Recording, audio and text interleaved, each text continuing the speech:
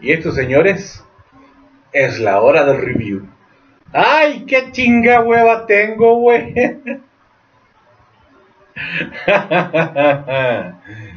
ya es hora de una buena, es hora de una buena baleada, sinceramente es hora de una buena baleada.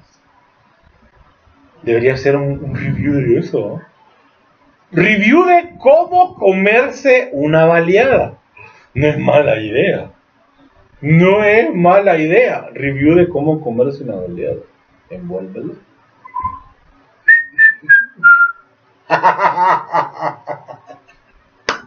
¿Ustedes cómo están? Mi nombre es Mauro Cibertron de la hora del review. Y esto es eh, un nuevo video más. Eh, antes que todo, ya saben, baleadas con todo, va, va, va, y seguimos echándole duro. Y por cortesía de agua de la llave. El día de hoy tengo la figura de Optimus Prime, modo evasión de eh, Transformers Age of Extinction. Sí, Age of Extinction. Age of Extinction año de extinción o edad de extinción o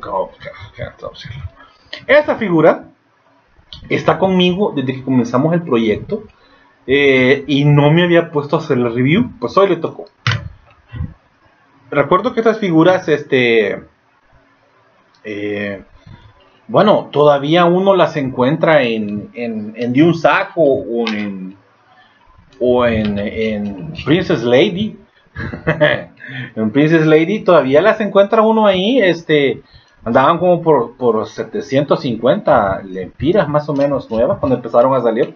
A mí me gustó, no me gustó, bueno, me gustó no porque fuera un Bayformer, sino porque es la representación de un Optimus G1, así.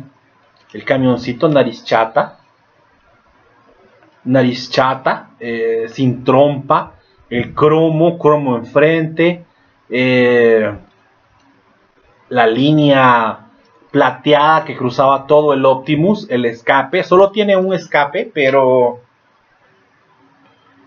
eh, muy bueno. La pistola también me hubiera gustado que hubiese sido negra, y como siempre también tira su, su cañón, tiene buen resorte todavía. Pero en lo personal me gustó, me hubiera gustado que las llantas hubiesen sido de goma. Eh, o que eh, tuviera otro color, pero me gusta realmente que son los colores clásicos, clásicos de Optimus Prime. Así se acuerdan aquel azul, rojo, gris. Me gusta mucho esto. Aunque sea un Bayformer, aunque sea un Bayformer, pero este fue una manera, pienso yo, de Michael Bay de de hacer un tributo a Optimus Prime en su versión primera generación. Muy bueno, la verdad, muy bueno. Eh, hizo que, me gustara mucho esta figura y realmente vale la pena tenerlo. Ya, como ustedes sabrán, el otro día con Joel hicimos el, review del modo de Weiyan que... ¡Wow! O sea, esta es la versión original y aquel es la versión este, KO y ¡wow!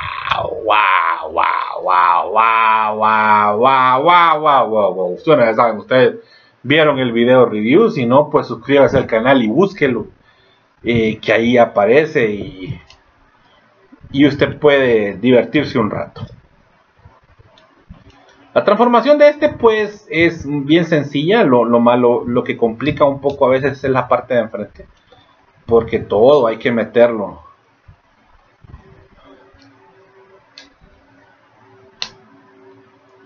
Todo hay que meterlo y a veces hay un poquito aquí duro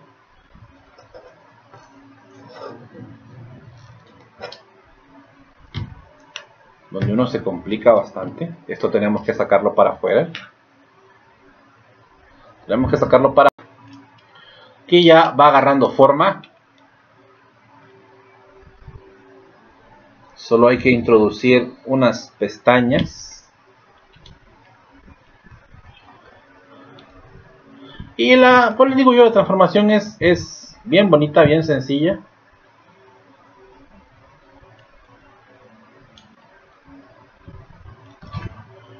No, realmente hay, hay complicado, se, complica bastante la parte del, ay güey, de, de los brazos, es la parte que más me cuesta. La primera vez que lo armé, chingo es su madre con este güey, dije yo. ¿Qué me costó armarlo?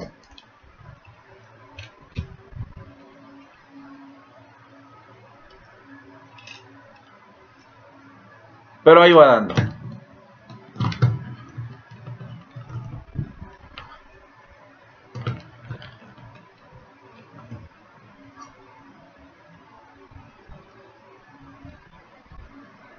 Lo único que no me gusta siempre son, son esos, estos, estos cachos que quedan aquí. No me gusta eso. O sea, yo sé que es difícil, es difícil eh, lograr eh, armar todo. El, como ingeniero, yo sé que es difícil lograr que, que las piezas encajen, que todo vaya de acuerdo a, como quieren que vaya. Que, que, una, eh, recuerden que estas son son marcas patentadas, entonces que un carro no pierda su, su originalidad. Y de esta manera, y así queremos que se vea en carro. Pero ya el robot, hay que meter todos los escapes, los brazos, un poquito complicado, sí, lo entiendo. Pero, ya en buena onda. Esfuércense tantito. Si sí pueden. Esfuércense un poquito más.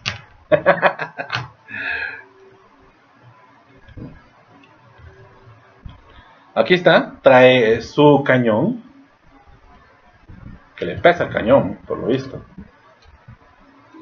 Trae su cañón, su, arma se le puede poner aquí. Eh, me hubiera gustado que este hubiera sido como la versión eh, Battle Damage Perdón, perdón, no, es la versión Battle Damage. Me hubiera gustado que hubiese sido como la versión esa de Weiyan. Que hubiera traído, le hubieran, hubieran incorporado el hacha. O la espada, se lo hubieran incorporado, ¿no? Miren. ¿Ah?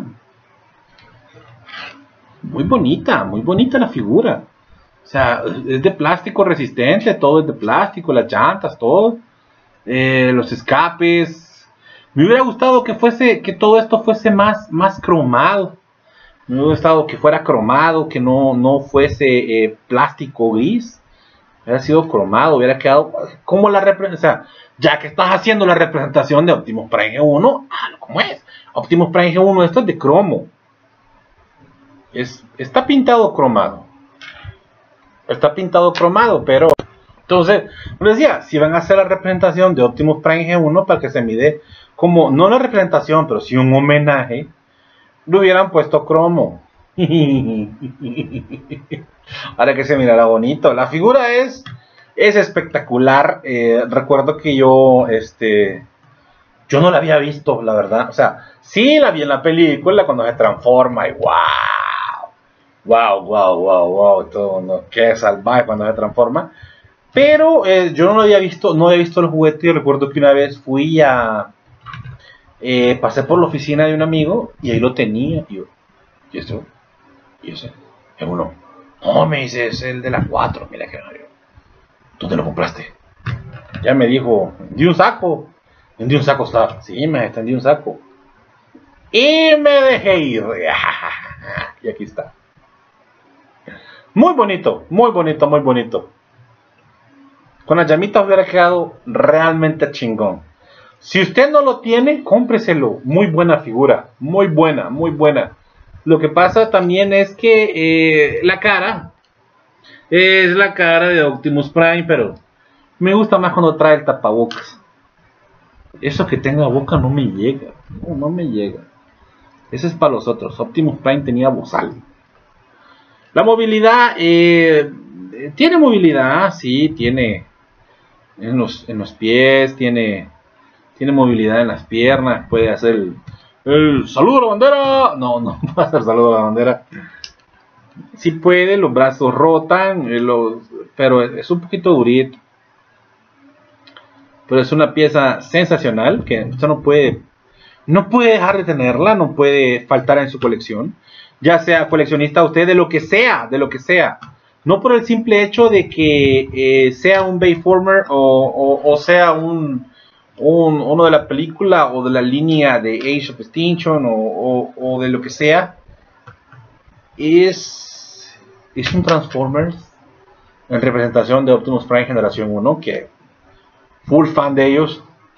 Entonces, no puede faltar, no, no puede quedarse usted sin esta figura. Además, es bonita, es compacta, le dije, en modo carbioncito. Cabe en su mesita de noche, cabe en su repisa, cabe en su guardarropa, en su bolsa de la camisa, donde usted más quiera.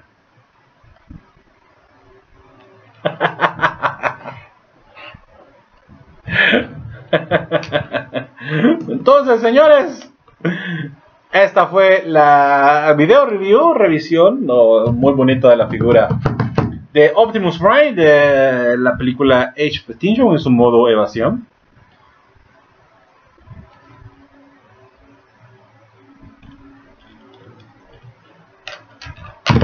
Ya con esto nos despedimos. Recuerde, recuerde, ayude a un perro de la calle, alimente a un perro de la calle. Eh, una bolsa de concentrado solo vale 10 pesos aquí en área 504, donde usted puede eh, comprarla, ándale en su carro, si usted mira un animal, bájese, que usted le ha de comer, otra persona se va a animar a que usted lo que está haciendo, y también, y así va a seguir la cadena e historia e historia de todo esto. Anímese, una paila de agua con una Pone un rotulito aquí, qué pendejo cómo se traba. Una paila de agua de la llave no cuesta, no lo va a hacer ni más rico ni más pobre. Señores, me voy, me despido.